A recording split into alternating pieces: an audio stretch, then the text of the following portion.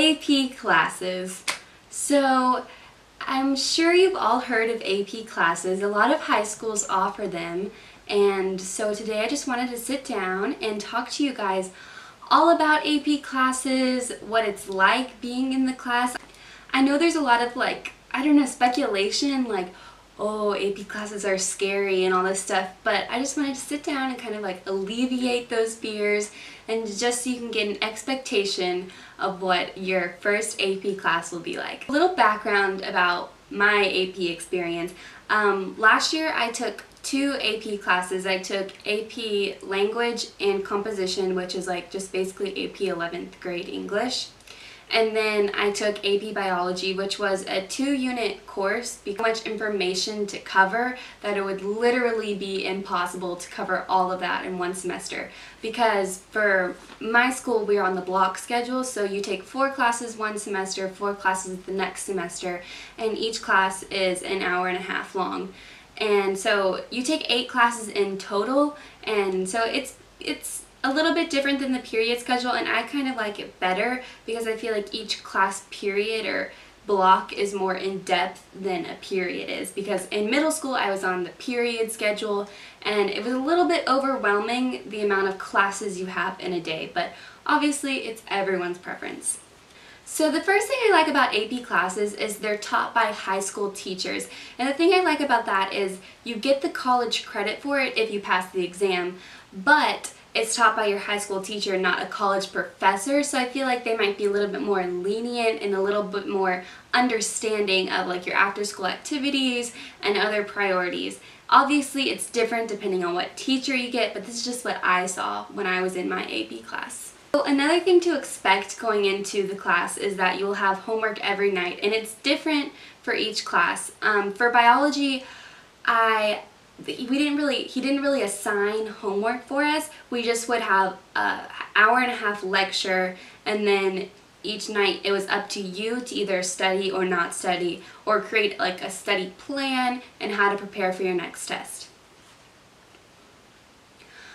Uh, however, in my English class, we would have due dates and assignments that were hard due dates. Uh, when we were writing our research paper, she was really helpful to us that she would create due dates throughout the research paper. Like our sources were due on this day, our bibliography was due on this day, our works cited page was due on this day, our rough draft was due on this day, and so on. So it depends on your teacher and how they set it up. So you can expect to do work every night. It may be assigned by the teacher or, or it may be something that you have to kind of instill within yourself. It takes a lot of discipline if you have a teacher who doesn't officially assign homework but just expects you to study each night. So another thing I would suggest going into the class is having the right attitude about the class.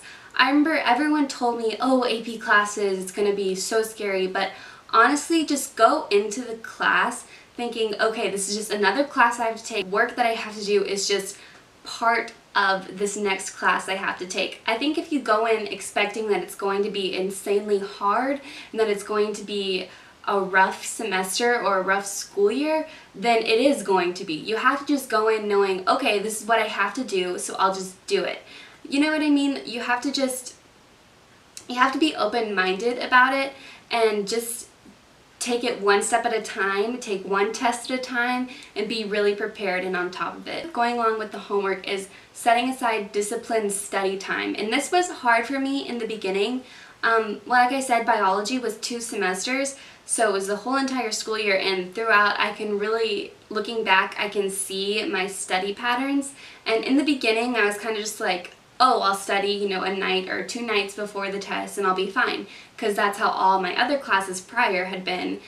But for AP classes, I really do think it's important that each night you just go home, read over your material and study. And honestly, it's not that bad, especially if you take a lecture class. Just take notes during the lecture and when you get home each night, like read over it for maybe half an hour and you'll be fine. Other classes like English, I remember having to write papers a lot and for depending on your teacher, he or she might just say, this is your due date, have your paper ready then. So if that due date is in like a month, just make an outline, a plan of, okay, I'm gonna do finish my first intro paragraph by this date. I'm gonna finish my body paragraph by this day. And once the due date comes, you're prepared.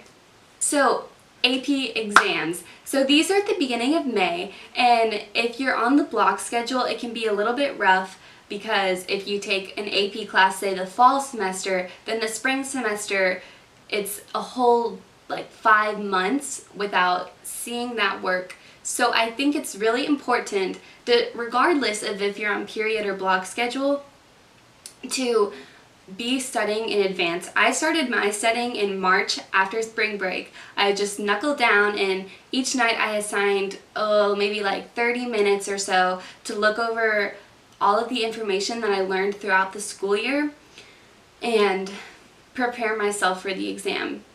It really surprised me though when I was studying, the things that we learned in the beginning of the school year actually come back really quickly as long as you just look over it. I suggest is when you're in your AP class, don't let things slip by, especially if there's like some sort of material that you don't quite understand, but you just kind of like struggle and just barely pass the test or just barely finish this next assignment. Make a conscious effort to understand that information so then once it comes to AP exam time, you're not trying to backtrack and relearn what you didn't really learn in the first place.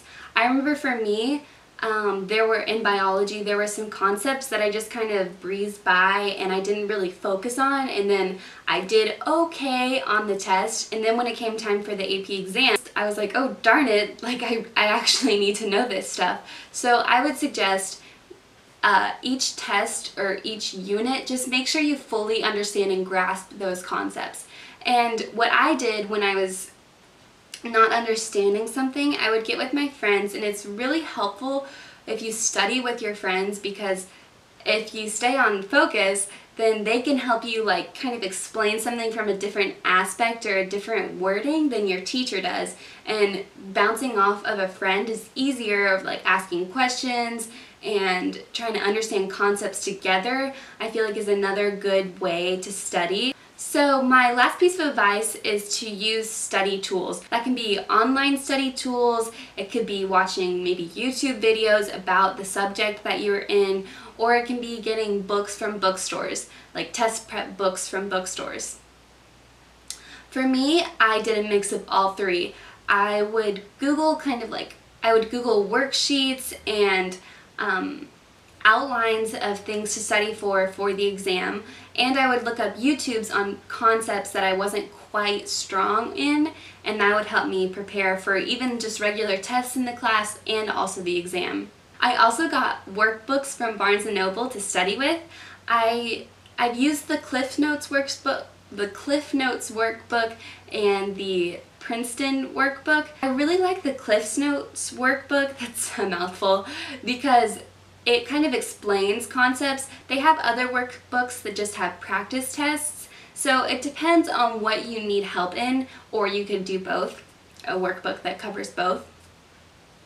Uh, also, I would recommend taking practice mock exams or practice tests. Uh, for my class, we took several mock exams and several practice tests so that when we go into the exam, we were ready for it. Um, and it's also important that you kind of Google the information and kind of know what to expect on test day because that was one thing I was really kind of anxious about, like what's it going to be like, how much time are we going to have for each section, how many essays are we going to write, how many multiple choice questions are there going to be. So those things, if you can just Google them and just kind of get those other nerves out of the way and just be. My last piece of advice is to just try your best. And I know that sounds cheesy, but an AP class, in essence, is a college course, I guess you could call it, um, just modified for high school, for a high school setting. So if you don't do the best in a subject, I feel like it's good if at least you try and you get exposed to that material, especially if you know it's a class you're going to have to take in college, I wouldn't regret taking an AP class and not doing good on an exam because you're exposed to the material, you kind of have a little bit of background, so then once you get to college, you'll be prepared on the subject and you'll be ahead of your peers in that class because you will kind of have a background knowledge on the subject. That's all I have for you today. I hope this was helpful and please comment and leave any notes or tips you have for AP classes. I would love to hear them. Tell me what AP classes you're enrolled for next year. Don't forget to like and subscribe and I'll see you in my next video. Bye! I also got online stud